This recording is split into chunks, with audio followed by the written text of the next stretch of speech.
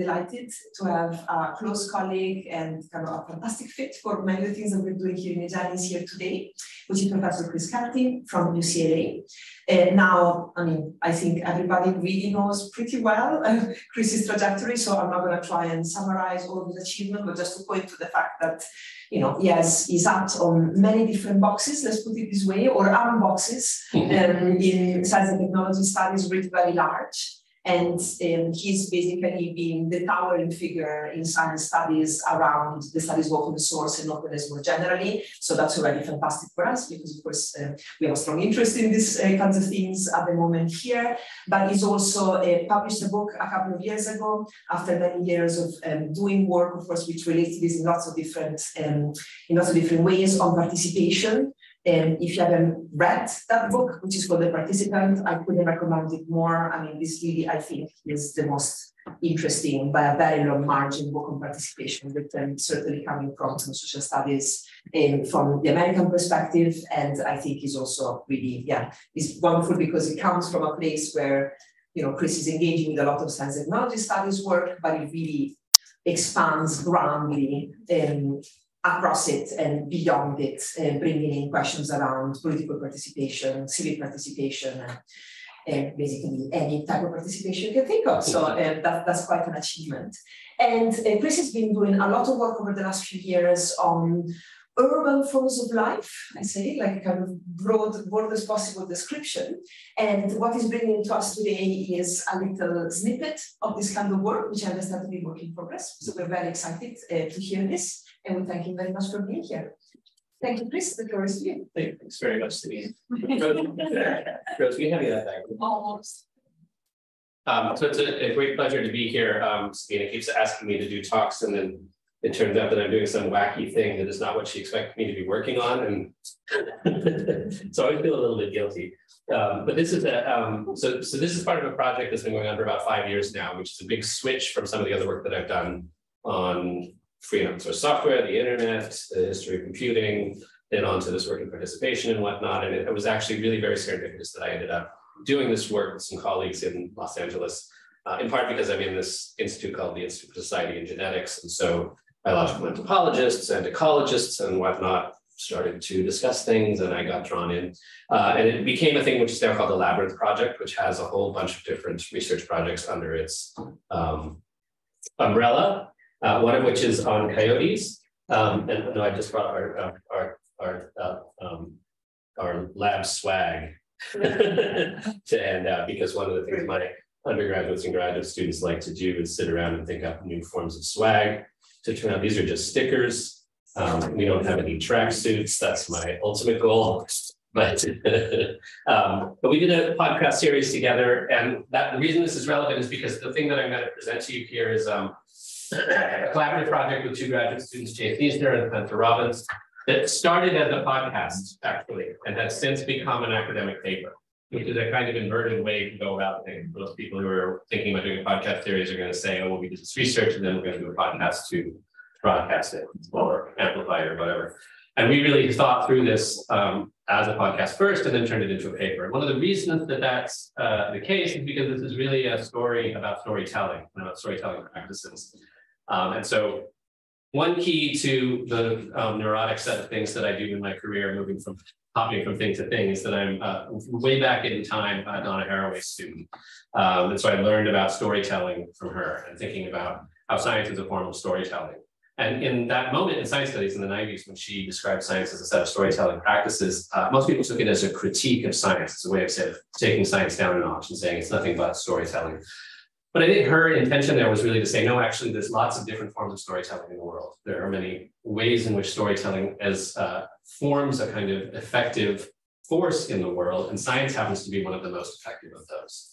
Um, and so one of the things that we've been thinking about BCG Coyotes, therefore, is in um, trying to understand how storytelling is an ecologically significant practice in the city, uh, how it has uh, dramatic uh, effects on the ecological relations that take place in the city, um, and not just uh, a representation or um, a representation that uh, can be somehow corrected by scientific or data practices of some sort. Um, so, so what I'm going to give you has a lot of storytelling I'm getting, yeah, you know, it's it's funny because this maybe all sounds under, uncontroversial for people who are inside studies or so I'm not maybe saying anything new here. Um, but I think it's really central for me to keep insisting on telling stories and on the practice of interpretation. And it, it was a lot of fun to work with Spencer, who was in English and who was really thinking about this as a hermeneutic problem, um, and um, Chase, who really took up a kind of form of ecological thinking that was uh, in part inspired by reading Eduardo Kohn's book, uh, How Forests Think, and really thinking about biosemiotics as one approach to thinking about ecological relations. So it's a, it's a kind of, just giving you all this background so you can understand where this project is coming from. That may or may not make it more interesting as I read to you, but we'll see, we'll find out, won't we?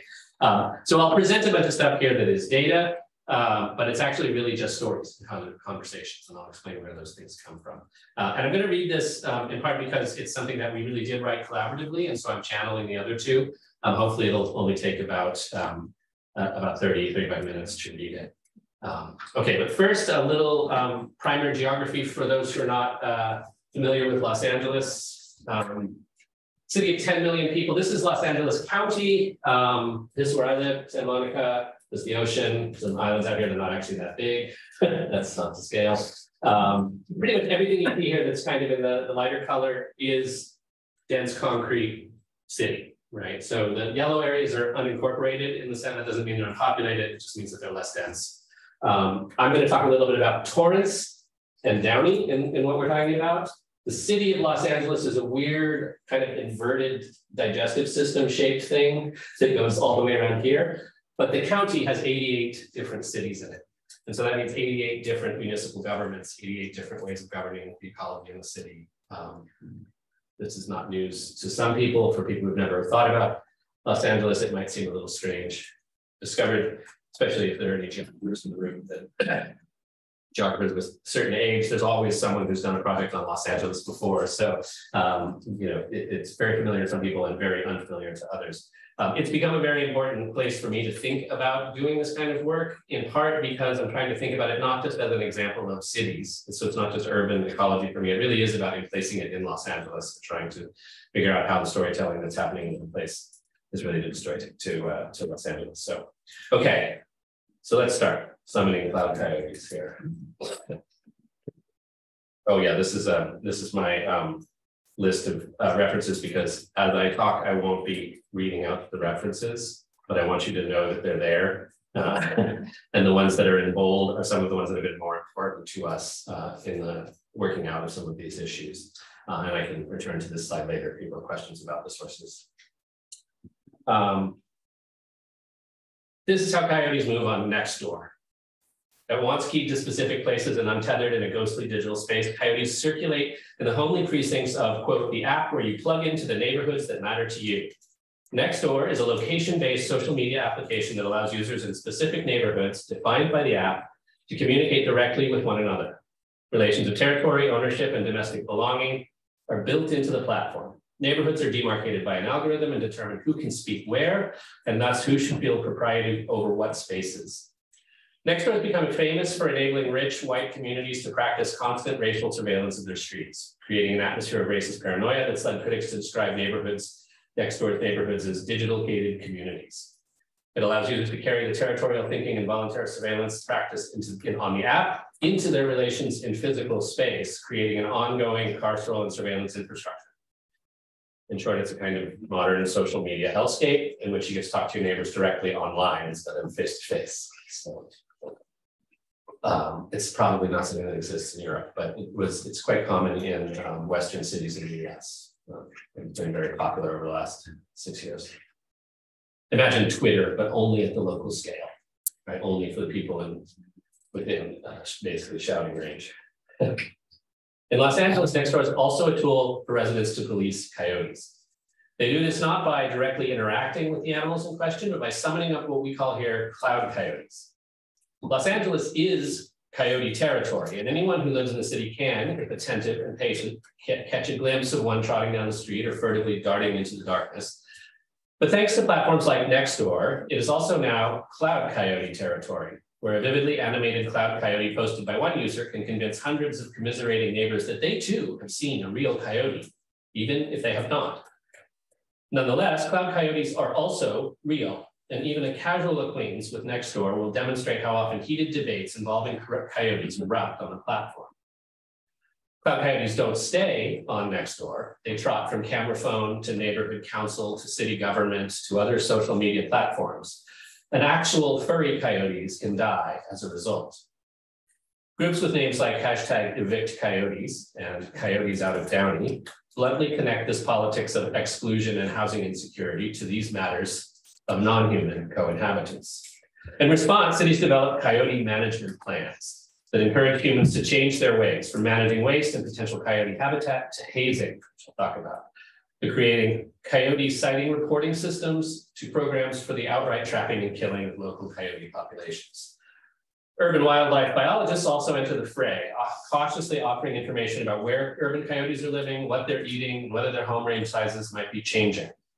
Research so far is ambiguous about how urban coyotes differ from their rural counterparts and about whether their new behaviors might pose some danger to humans. Cloud coyotes, by contrast, are decidedly mobile, predatory, numerous, and terrifying.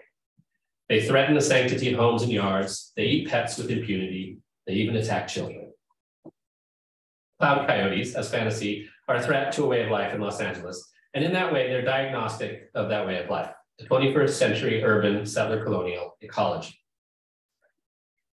Settler colonialism is a term that we use here, drawing on multiple sources, that specifies an ongoing project of securing control in multiple ways, physical, legal, administrative, over territory now occupied by non-Indigenous residents. San is settler colonial territory, obviously. Crucially, this project is also ecological, connecting relations among plants, animals, infrastructures, and habitats together as part of this project. So this paper, we describe how cloud coyotes help structure settler relations in contemporary Los Angeles by becoming a performative threat and justifying a human response that includes various attempts at extermination, containment, or assimilation. So it's based in fieldwork in Los Angeles, but also in an archive of over 400 conversations we collected from next, door from the period 2015 to 2019 as part of the Labyrinth project at UCLA and a collaboration amongst the three scholars that I mentioned before. So what is a cloud coyote? Cloud coyotes and their human non and their human non-companions perform in patterned, predictable ways in Nextdoor's precisely delimited neighborhoods. Their virtual life often starts when a human encounters a real coyote on a street, in a yard, or sometimes on a surveillance camera. Um, I'm not going to read these to you. I, I, actually want you to read them to yourself in your own voice rather than hearing my voice read them because they are direct quotes from Nextdoor. So you have to imagine these as your neighbors yelling at you, essentially. but I'll try to pause so that you have a second to read them when I put them up. In some grim cases, they encounter only an index of the coyote in the form of a missing or dead cat or dog. But by summoning coyotes in the space of next door, they and their neighbors then amplify the experience, fill in details, extrapolate, debate, and enable their human handlers to perform a set of scripted responses. Representing animals with digital tools can encourage certain kinds of relations like care or commodification. Invoking a cloud coyote activates a set of relations that are structured by the platform and its role in the governmental, ecological, and historical relations of Los Angeles. For Nextdoor, the defining affect is ownership. Nextdoor's neighborhoods are an intimate site for imagining an urban space owned by particular humans and in need of constant, vigilant settlement by them.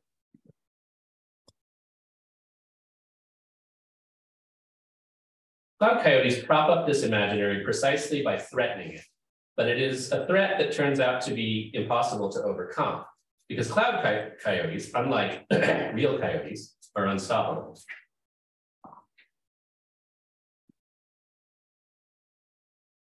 Cloud coyotes don't stay put in Nextdoor. Nowhere in this, nowhere is this clearer than when those who have lost companion animals or who have imagined losing companion animals show up in real spaces of city councils, wildlife hotlines, city streets, animal control centers. People in these spaces often engage in displays of grief and anger over their loss. Sometimes these displays look more like therapy than political activism or participation. I don't want to read this one, but it's really good. Aren't you?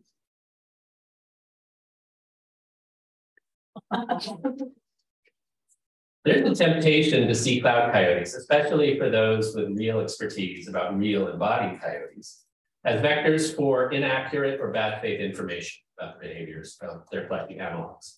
So the focus can quickly shift from the cloud coyote to the misinformed human in need of correction.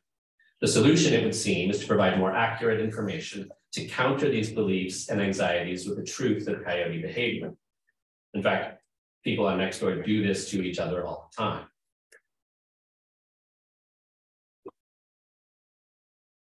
But summoning a cloud coyote on Nextdoor is not a way of making claims, true or false, about coyote behavior. Rather, it's a way of activating and reinforcing affects that in turn structure inhabitants' relation with the land.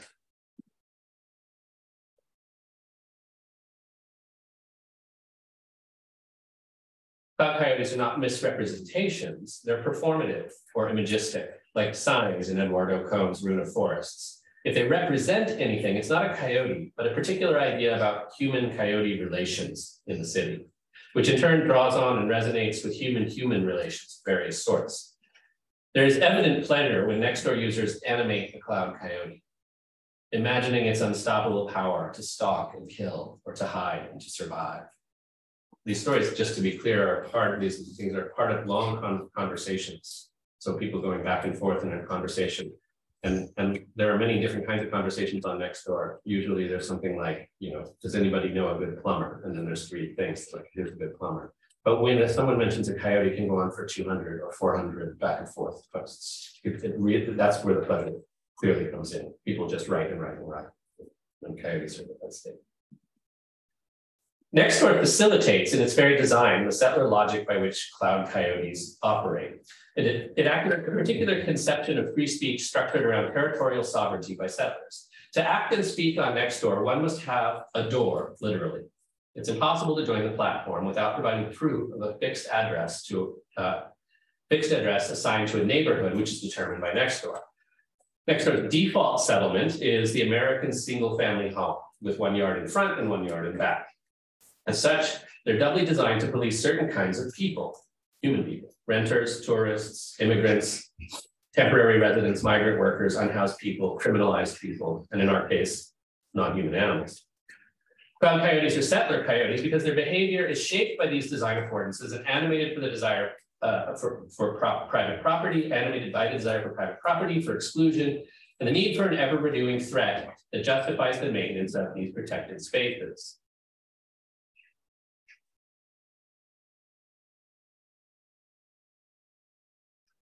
Over time, the comments involving cloud coyotes start to organize themselves into some basic categories. Coexist, kick out, or kill. Even the apparent exceptions, posts telling coyote stories or sharing coyote data, imagining LA through coyote eyes, which people occasionally do with obvious, obvious pleasure, tend towards one of these three options. The question being worked out on Nextdoor is what should be done with coyotes by the state or by settler homeowners themselves? Residents debate because they want to know how not to govern, not only to govern the coyotes, but themselves and their pets and other people. Coyote debates refuse to be about only coyotes. The language of coyote eradication moves in striking parallel with anti-homeless, anti-migrant, and anti-black rhetorics in Los Angeles. Anti-coyote activists often explicitly invoke images of both legal and racial exclusion, including eviction specifically in names like hashtag evict coyotes or coyotes out of Downey, which is modeled on a previous group that called itself gangs out of Downey. Are coyotes moving into the city? Do they belong here? Can we kick them out to where they do belong? These are questions that are usually asked uh, on Nextdoor about coyotes, Black people, unhoused people, making it part of a broader project of defining and defending an exclusionary conception of the human. This might seem to be primarily a problem of state power. Indeed, in the US context, coyotes are the jurisdiction of the National Park Service, the United States Department of Agriculture, the Department of Fish and Wildlife, or local animal services departments in those 88 cities that I mentioned. Uh, and we have another paper about arbitrariness in the governance of animals, which is uh, dealing with the fact that there are 88 different ways to govern coyotes in one county. Uh, but while these agencies are important, in the case of cloud coyotes, residents play a much more central role, one best understood through the frame of settler colonialism. Settler colonialism describes a historically specific ongoing project of removing indigenous people from the land and replacing them with settlers endowed with new legal and juridical forms of exclusionary ownership. What's important is that under settler colonialism, the choices and decisions about how to govern a place are delegated to individual settlers, backed by but not directly executed by the settler state. So this delegation is what's really important in differentiating it from other forms of colonialism. It's delegated to private individuals. The forms of delegated power are, of course, violent, bureaucratic, economic, but in this case, it's important that they're also ecological. To settle is to transform a landscape in vital ways that sustain settlers and displaced relations, relations or arrangements that are already in place. Settling includes bringing in forms of property, enclosure, fencing, as much as it does ways of cultivating land, raising livestock, planting things that settlers like to eat, and all the forms of management necessary to maintain these new ecological relations. So the Potawatomi philosopher Kyle Whyte describes the settler colonial project as a vicious sedimentation of one ecology over another. By seeking to establish their own homeland, settler populations are working to create their own ecologies out of the ecologies of indigenous peoples which often requires that settlers bring in, in, in additional materials and living beings, plants, animals from abroad. Los Angeles is a complicated version of this story, which we I don't have time to go into really, but it's got multiple layers of this, of course, because you have uh, indigenous residents, you have Spanish colonization, you have multiple versions of Anglo colonization, both external and internal um, to, the, to the country, each of which involves the replacement of previous ecological relations. Um, the, the, the, most recent of that is probably ecological restoration of things like wetlands and uh, ecological areas, right? But then prior to that, there's oil, oil drilling, and prior to that, there's orange groves, prior to that, there's ranching, and on down. So it's a complicated version of that, but as I say, there's not quite enough room to go into all the detail. Coyotes are part of that ecology, and their status, behavior, even their evolution, and their, therefore, is both background and legacy of this ongoing settler colonial project. The consequences are not only ecological, Alongside the deaths of real coyotes, Whyte continues, vicious sedimentation damages settlers' inclinations for consensual decision-making with indigenous people, which makes recognizing colonization and imagining decolonization of these relations extremely difficult.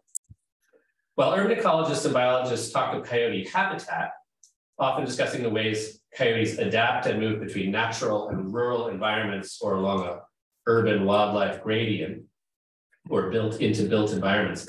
Such naturalizing language misunderstands the way that ecological remaking is part and parcel of the historical and biological transformations that have been wrought by settler colonialism. More than just a natural or unnatural habitat, urban or rural, coyotes inhabit a landscape held in place by ongoing practices of settlement, which not only displace the coyote, but also specific kinds of people for specific political purposes. And I might also point out here that it's different, for instance, than what Alfred Crosby defined as ecological imperialism right? So where he described these sort of biological portmanteaus of uh, plants and animals that are moved between places, right?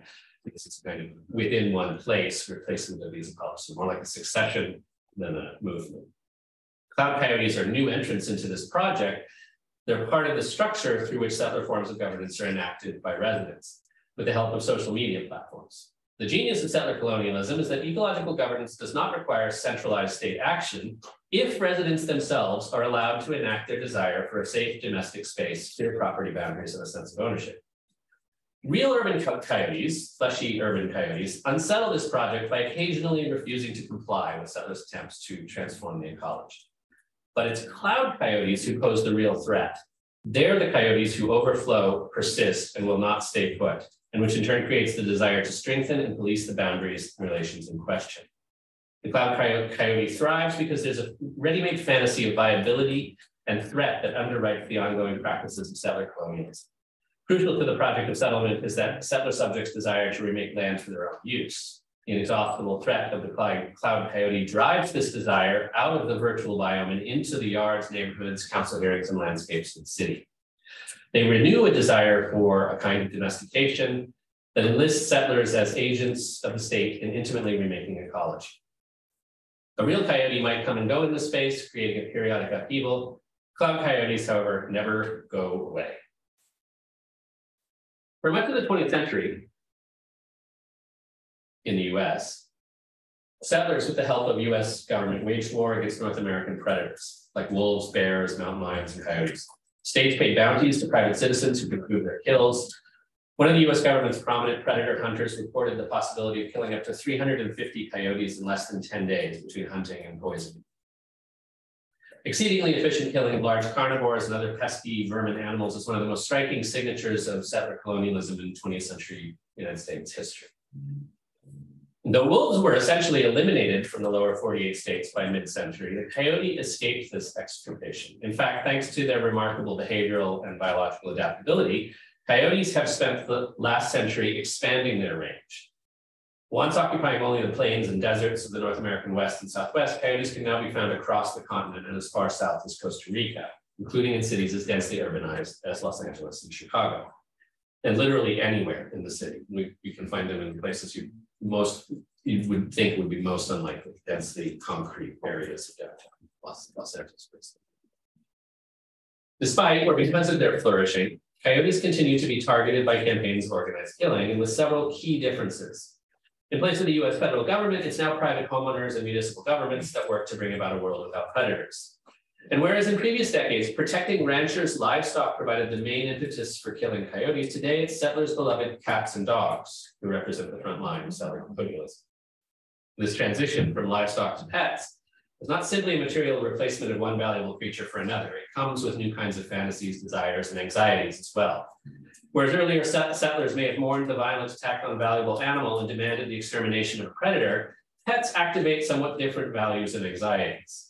These are visible in a weirdly common word image that repeats on next door. And I'll just point out that these are three versions of that, not one quote.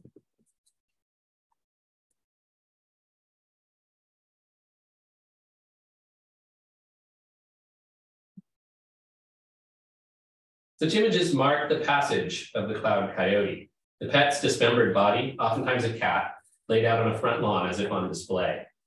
The horrific simplicity of this picture, the flat, homogeneous background of the grass, simultaneously a surface and a screen onto which to project the fantasy, and a pet once recognizable as whole, now in parts, gives this image its wide-ranging currency and emotional impact.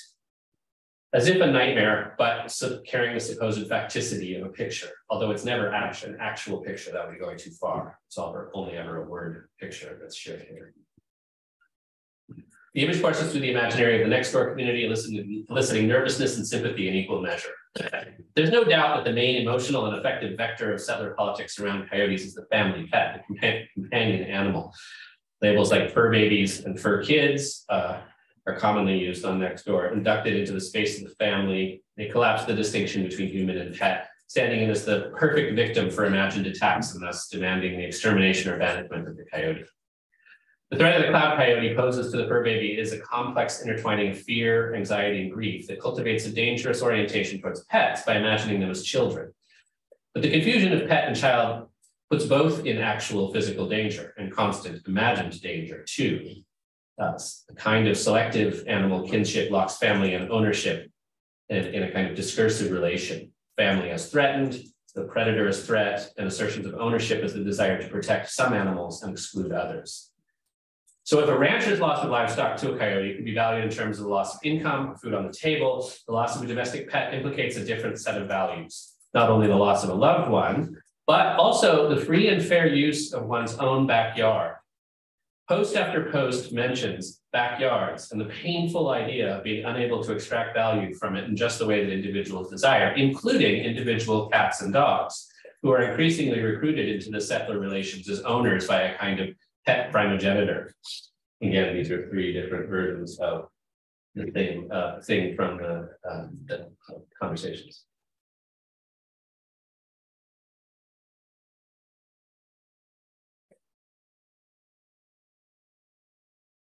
However, following the structure of impossible desire, the fence is both necessary and inadequate at the same time vis-a-vis -vis cloud coyotes. You have to have a fence, but it's impossible to keep the coyotes out you see this again over and over. I, I just have one here. Look for more just like this. Coyote rollers, which are a device designed to prevent coyotes from getting over fences. They have a roller on the edge, so when they jump up on the fence, they roll back down, right? Are frequently discussed, as are motion sensor lights, sprinklers, alarms, and other kinds of uh, more and less folk remedies for, for coyotes. Wolf urine is my favorite even if it's a good container because you don't want to get wolf urine on you. Bad news. um, the fortress mentality of gated LA uh, which is well known, I think, is a fantasy of a city without coyotes. Uh, but it also emphasizes the seemingly unstoppable capacity of the coyote to penetrate the fortress yard and to renew the necessity of fortifying the legal and material structures of settlement. So a similar structure is visible with the leash, which is both a tool of power and control, but also this sudden space of vulnerability that people talk about all the time. Coyotes getting keyed in right off the leash, right? Um, so that's a that's another structure that we see regularly. The cloud coyote, therefore, is ungovernable, which is a kind of paradoxical status.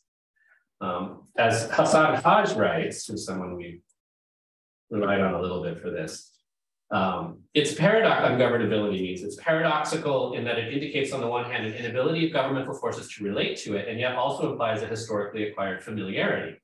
It denotes a relation paradoxically marked by a certain intimate lack of relationality, or relating to something through a recognition of the permanent inability to relate to it. Real urban coyotes have very few relations with humans, and even fewer humans cultivate sustained relations with urban coyotes. Some people do. We know a couple that lives in one of the canyons who fed coyotes and them basically living outside the door. But it's very rare for people to actually cultivate any sustained relationships with a real coyote in the city. You just see them and they disappear, again, or they appear to you, depending on how you but anybody who uses Nextdoor, however, will have relations with cloud coyotes, and the attention grabbing behavior of these coyotes is pretty much guaranteed to be a nuisance, even as the behavior of real neighborhood coyotes remains mostly a mystery. The ungovernable cloud coyote, who leaps six foot fences and snatches dogs from leashes, is capable of a constant incursion into a would be homely space. Cloud coyotes then are saturated with the paradox that Hage locates in the ungovernable, of, of relating to something through the recognition of the permanent inability to relate to. The cloud coyote is a vicious, unstoppable predator with no remorse and an insatiable appetite, kind of serial killer that targets fur babies, possibly even human children, dismembers them and erases their body parts on the lawn as evidence of its evil. The yard and the leash extend modes of settler space making up to the point where they are threatened and must be asserted again and again. Pet owners therefore insist repeatedly on the right for their fur babies to poop unattended in their yards or have free reign from the leash. They insist on the infinite but incomplete extensibility of these human pet property relations. In the settler imagination, city space must be made safe for such relations. So in a polarized media landscape that we have today, charged images like a dead cat on a lawn are powerful tools for organizing. So there's pro-coyote groups like Coyote Clan and Protect Our Coyotes and anti-coyote groups like Coyote Hunting and Evict Coyotes. Whereas Nextdoor coyote posts are about disagreement and to some extent about information sharing, Facebook groups bring like-minded people together for a purpose. A series of suspiciously similar Facebook groups have popped up over the last several years. Uh, they all say something like, this group is for people wanting to bring down the coyote population. The only side we discuss is how to get our government to do their job and start evicting coyotes. This group is meant for like-minded people wanting to find solutions to the coyote issue. We do not support coyote coexistence. There are several more of these. This one's from Coyotes Torrance. There's another one from a couple of other cities that I can show you. And although you might be, this might be taken for evidence of a grassroots conservative movement, these groups can in reality be traced entirely to a single person. Torrance City Councilman Aurelio Mattucci.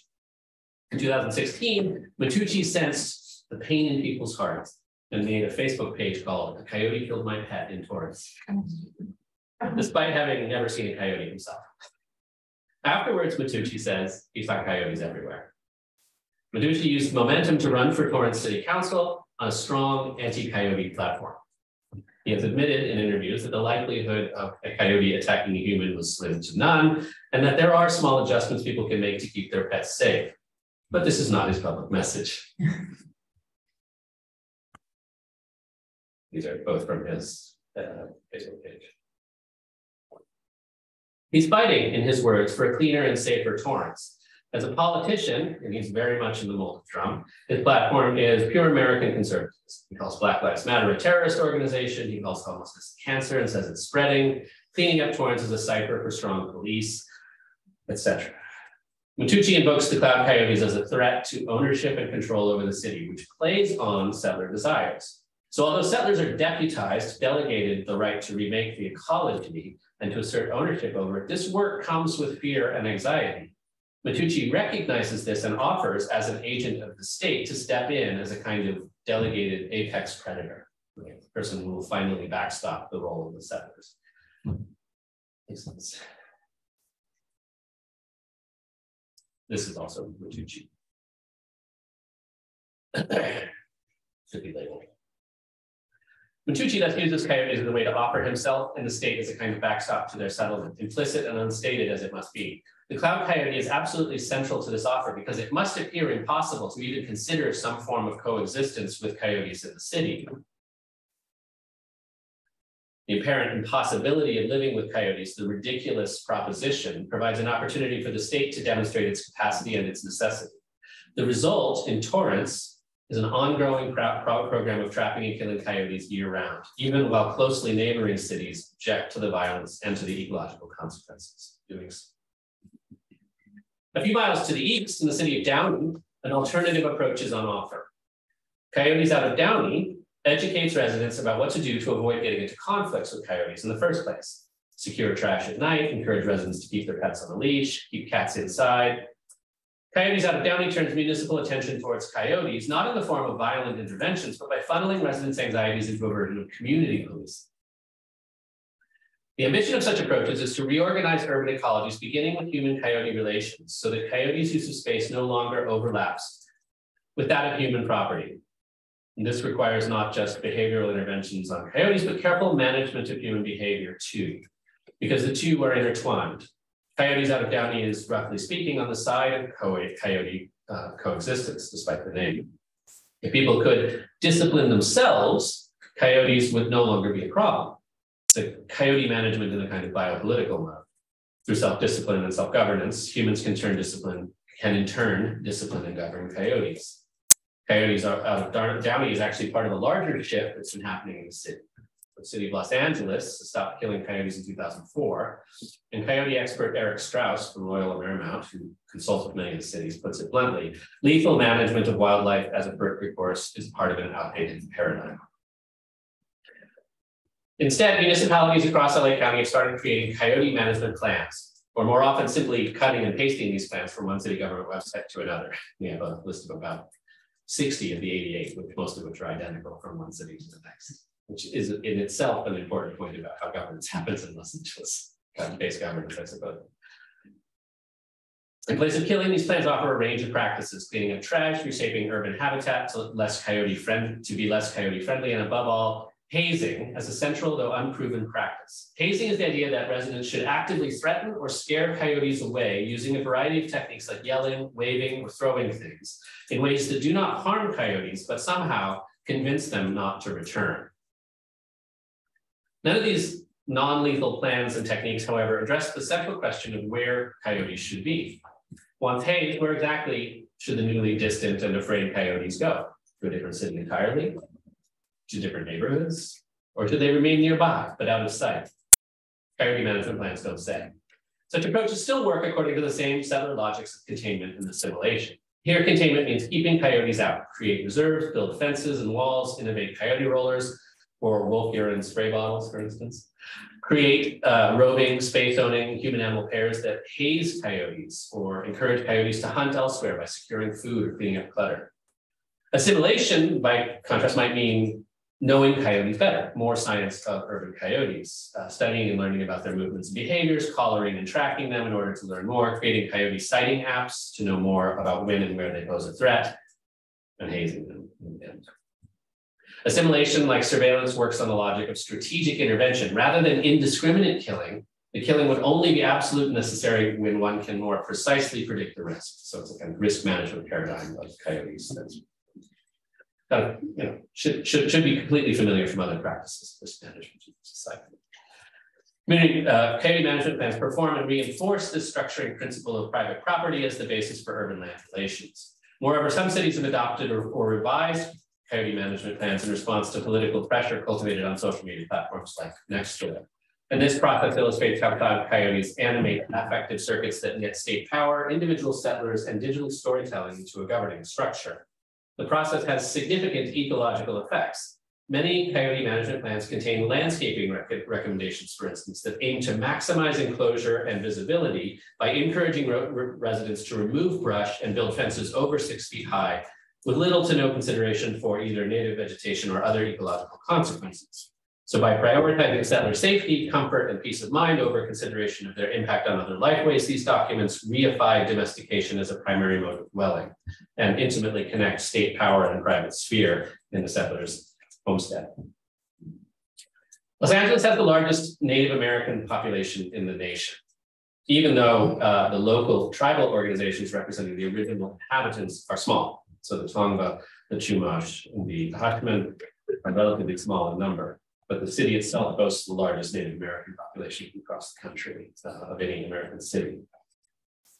There's no legal or practical reason why urban wildlife managers could not adopt policies that recognize the rights of Native people in Los Angeles um, to make decisions about who belongs on this land and how our relationships with coyotes might, might work out. There may be opportunities for state agencies and tribal groups to conduct or otherwise collaborate in urban areas. At the same, at the same time, it's important to note that collaboration is not the only horizon for anti-colonial practice. Sometimes requests for tribal consultation can function as unwelcome demands on indigenous groups, limited time and resources, which are themselves consequences of colonial violence. We've encountered this ourselves, we encounter it over and over again. Demand to consult with Native American peoples in the city is its, itself a form of violence because it just adds to the list of things for Native groups to do. So uh, it's not the only solution. Inclusion is not the only solution. Moreover, some Native people may refuse collaboration as part of a broader refusal to recognize the legitimacy of the settler state, or may simply cultivate relations with places and beings outside of structures of state recognition. What forms of anti-colonial management of urban wildlife might take, and whether it might include, for example, tribal organizations rewriting, rejecting, or ignoring community management plans is neither up to the settler state nor to us the authors here in this case. But diagnosing the cloud coyote, however, can be a warning not just to wildlife managers, but to all those who design, create, and use digital tools like Nextdoor. There's an unacknowledged relationship between land and cloud here.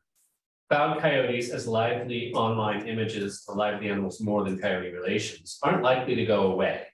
Flesh and blood coyotes will continue to move through cities and people who encounter them will continue to tell stories about them.